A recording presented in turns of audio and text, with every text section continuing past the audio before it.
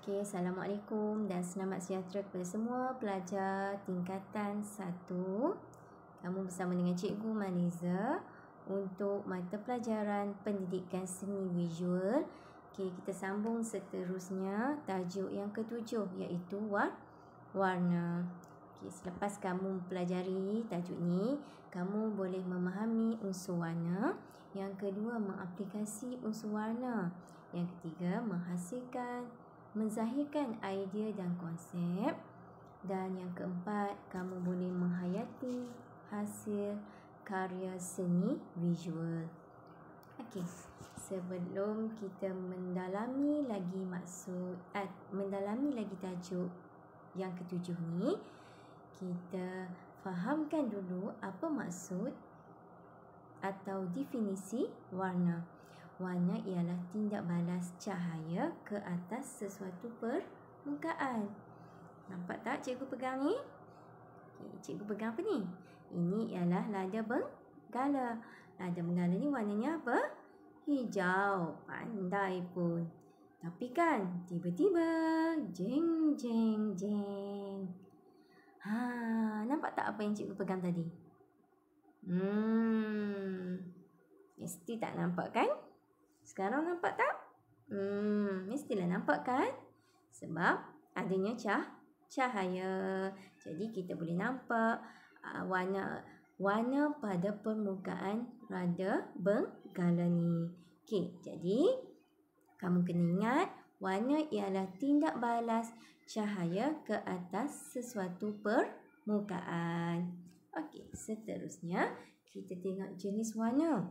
Ada tiga jenis warna iaitu warna primer atau dikenali juga sebagai warna asas atau dikenali sebagai warna utama. Yang kedua, warna sekunder. Yang ketiga, warna tertier. Okey, sekarang kita tengok setiap setiap satu jenis warna. Okey, warna primer ialah warna yang tidak boleh dihasilkan dengan cara campuran warna. Contohnya merah, kuning, biru. Merah, kuning dan biru tidak dihasilkan melalui campuran. Okey, itu ialah warna asas atau warna primer. Yang seterusnya kita tengok jenis yang kedua iaitu warna sekunder. Okay, warna sekunder maksudnya dihasilkan daripada campuran dua warna asas. Kita ingat warna asas tadi, warna asas ada tiga. Jadi, kita campurkan untuk menghasilkan warna sekunder.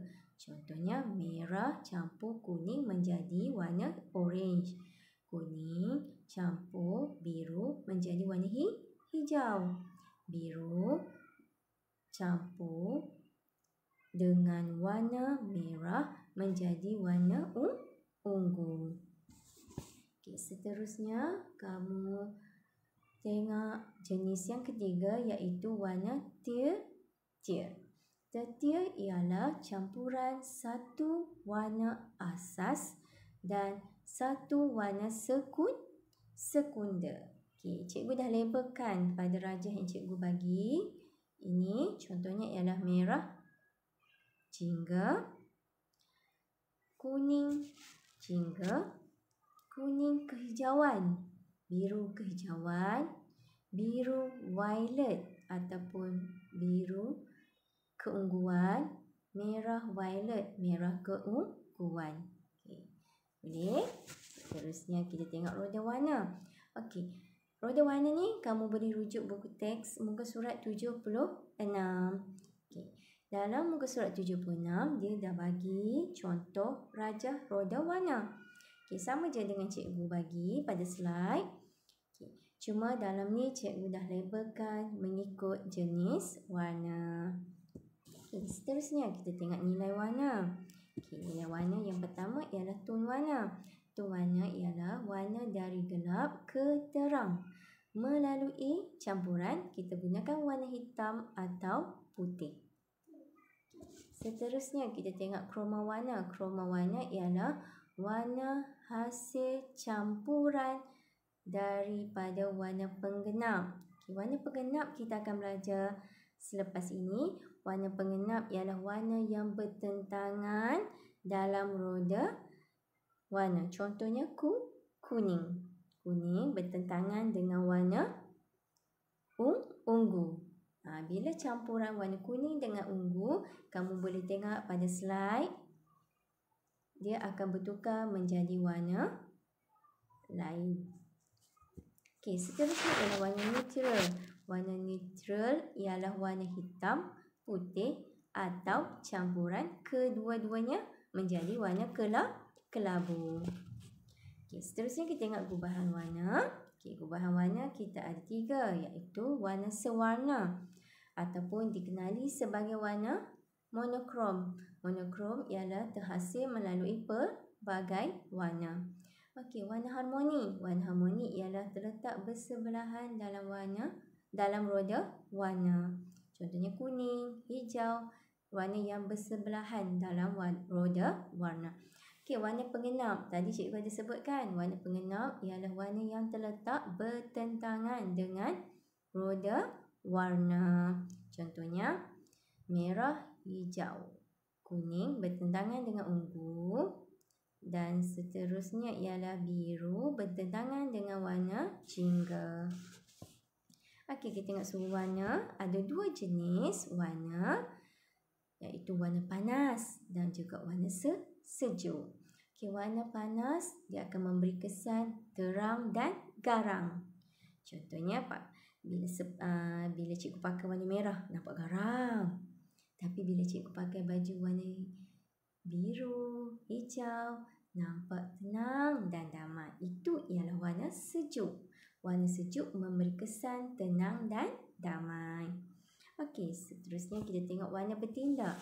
Warna bertindak ni adalah kesan warna yang menimbulkan kesan pantulan warna yang berbeza apabila bertemu dengan warna latar yang berlainan. Okey, ada dua kesan. Satu kesan positif dan juga satu lagi ialah kesan negatif. Seterusnya kita tengok perspektif warna. Okey, apa maksud perspektif warna ni? Warna ialah berubah mengikut suasana dan cara. Okey. Contohnya gambar yang pertama ialah waktu suasana senja. Jadi dia akan menggunakan warna yang hitam dan juga warna kuning dan juga warna oh, orange atau jing jingga untuk menimbulkan suasana waktu sen senja. Okey, jenis warna pada alam semula jadi, kita ada warna harmoni. Warna harmoni tu ialah warna apa? Warna yang terletak bersebelahan dengan bersebelahan dalam roda warna. Contohnya ialah hijau dan kuning. Okey, warna penggenap. Warna penggenap ialah warna yang bertentangan dalam roda warna. Contohnya apa tadi cikgu cakap? Salah satu contohnya ialah warna merah dengan hijau. Okey, yang ketiga jenis alam jenis warna pada perspektif warna. Perspektif warna ni kita boleh merujuk kepada suasana dan juga jarak. Okey, jenis warna pada objek buatan manusia. Contohnya ialah warna prima. Warna prima tu warna apa? Ha, ingat lagi tak? Warna prima ialah warna asas. Contohnya me merah. Ha, itu contoh gambar yang cikgu bagi. Yang kedua ialah warna neutral. Warna neutral ingat tak maksudnya? Warna neutral ialah putih atau hitam atau campuran hitam dan putih menjadi warna kelab kelabu. Okey, jenis warna pada karya seni visual. Contohnya warna panas, warna sejuk dan juga warna bertindak. Ini adalah contoh karya seni visual mengikut suhu warna. Okey, seterusnya kita belajar apa kegunaan atau fungsi warna ni. Yang pertama ialah sebagai representasi daripada alam semula jadi. Macam ni. Ha, tahu dah warna hijau ni. Ni ialah nada bergala. Yang seterusnya ialah sebagai ekspresi kendiri meluahkan emosi. Kita nak lahirkan emosi, kita nak luahkan emosi, kita menggunakan warna yang sesuai. Yang ketiga, sebagai kesan psikologi kepada perasaan maknu, manusia kita tengok perasaan marah. Ha, bila marah, mesti warna yang dizahirkan ialah warna yang terang. Okey, seterusnya sebagai simbolisme yang memberikan makna tertentu. Contoh gambar yang cikgu bagikan, tu gambar songkok yang dililit dengan kain putih. Itu maksudnya simbol berkabung. Okey, jadi tugasan untuk minggu ni, kamu perlu rujuk modul pelengkap, jawab soalan muka surat 12 dan 13 dan satu lagi, jangan lupa warnakan lukisan dalam modul pelengkap. Okey? Okey, kita jumpa lagi pada minggu yang seterusnya dengan tajuk yang seterusnya. Okey, Assalamualaikum dan selamat sejahtera.